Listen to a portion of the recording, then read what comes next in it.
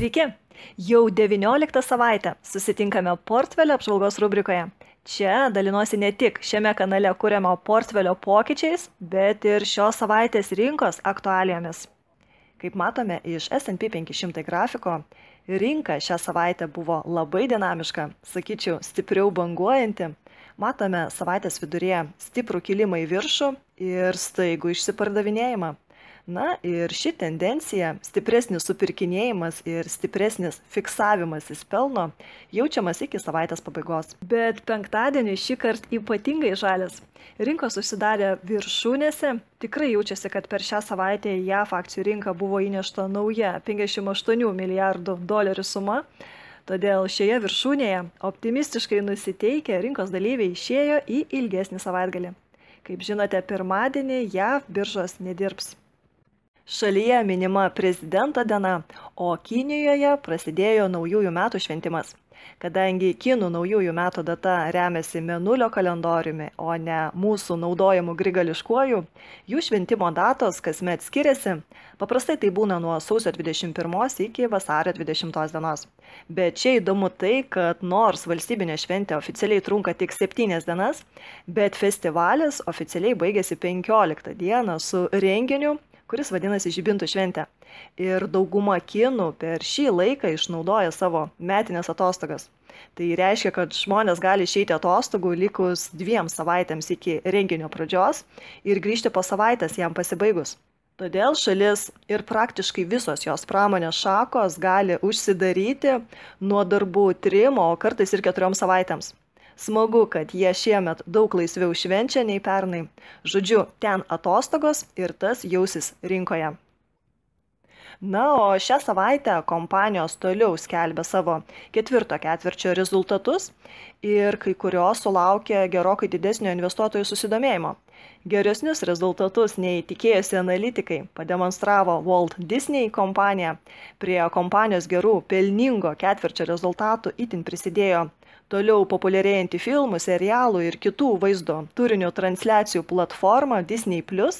Apie tai esu kalbėjusi video pranešime Meisi, ATT ir Disney naujienos. Todėl, jeigu įdomu, suraskite mano video apie tai. Įdomu tai, kad Disney Plus aktyvių vartotojų skaičius išaugo iki 95 milijonų, nors prieš metus jų buvo vos 26 milijonai. Taip pat stebėjome stipresnį akcijų kilimą duomenų analizės programinės įrangos kuriejos kompanijos Palantir.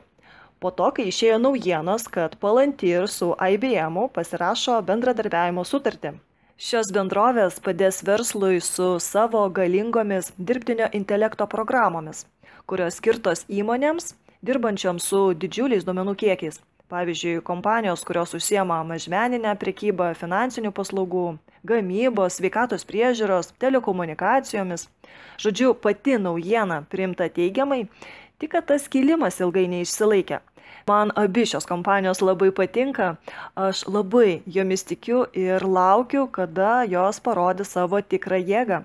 Apie šias kompanijas yra ne vienas video kanale, todėl jeigu įdomu, būtinai pasižiūrėkite.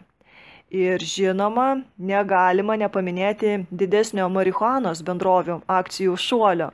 Priminsiu, kad apie šią rinką yra parengtas mano video pavadinimu kanabis, todėl jeigu įdomu plačiau, giliau, būtinai pažiūrėkite.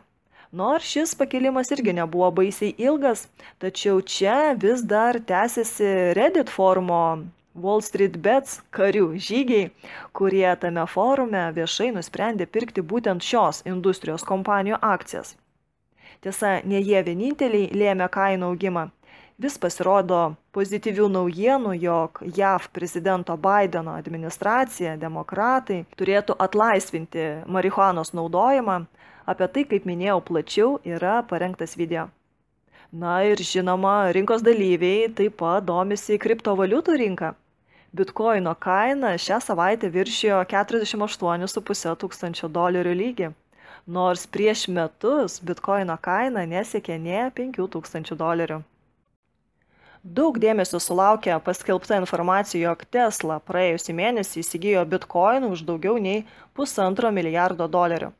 Ir Tesla taip pat paskelbė, jog yra galimybė ateityje už Tesla automobilius atsiskaityti bitkoinais O tai reiškia, kad gali ateityje šiuo keliu eiti ir kitos bendrovės, todėl bitkoinas gali tapti jau daugiau nei virtualiu burbulu.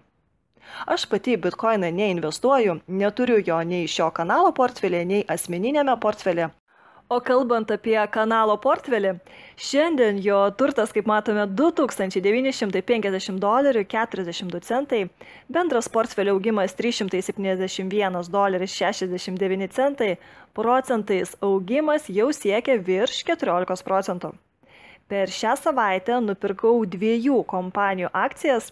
Prenumeratoriai apie tai jau žino, nes iškart po pirkimo pasidalinau kanalo skiltyje bendruomenę, community Priminsiu, kad čia dalinamės nuomonėmis, vyksta apklausos. Tai štai pirmadienį, kaip matote, įsigijau pakritusią Checkpoint akciją. Po ataskaitos kompanijos akcijos pakrito, nes investuotojus nuvylė ateinančio ketvirčio prognozes.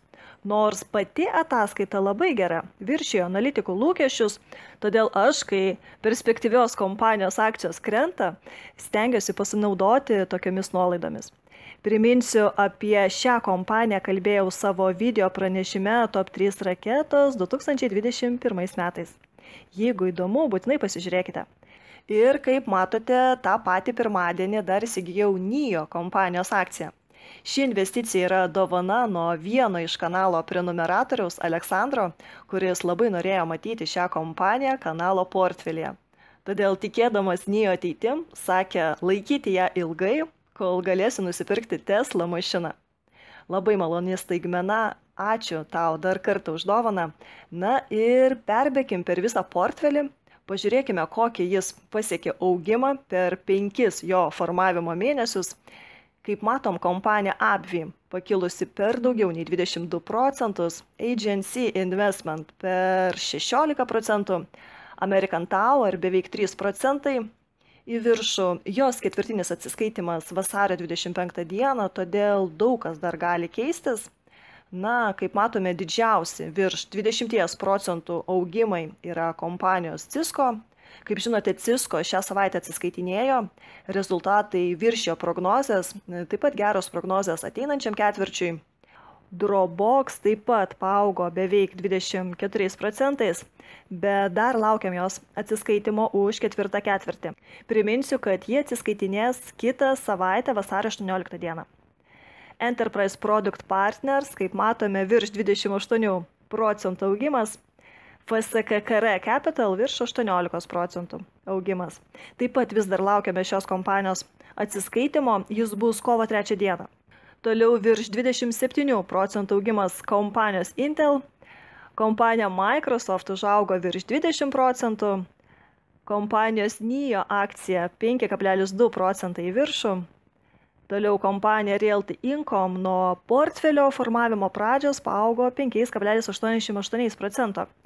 Jos atsiskaitimas jau vasario 22 dieną. Simon Property Group, kaip matome, beveik 68 procentai į viršų.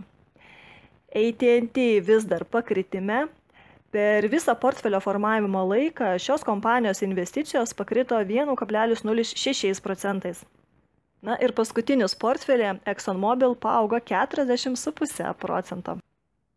O jeigu nagrinėti tik šios savaitės portfelio dinamiką, tai spaudžiam kylančio grafiko ikonėlę pasirenkam pelnas ir nuostoliai, dar pasirenkam laikotarpį už savaitę ir matom, kad portfelis per šią savaitę paaugo 20 dolerių 77 centais.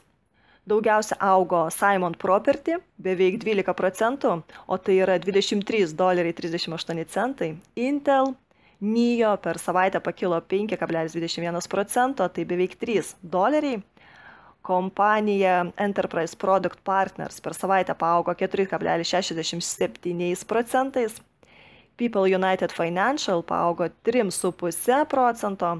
Na ir toliau, kaip matome, kompanijos, kurios šią savaitę pakrito.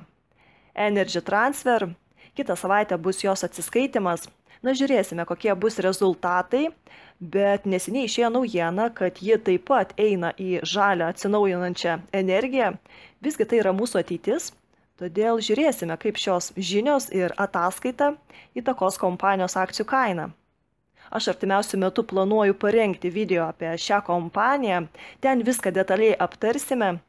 Tikslingiausia turbūt po atsiskaitimo parengti apžvalgą. Taip pat, kaip matom, šią savaitę pakrito ir AT&T, Pfizer, Cisco, Gillette Science, Dropbox, Tyson Foods, AppV, American Tower, o daugiausia, kaip matome, šią savaitę po ataskaitos krito kompanija Alterix - beveik 12 procentinių punktų žemyn. Jos ketvirto ketvirčio ataskaita viršijo prognozes, bet investuotojams nepatiko 21 metų pirmo ketvirčio prognozes. Nors aš manau, kad kai baigsis pandemija, su šia kompanija viskas bus gerai.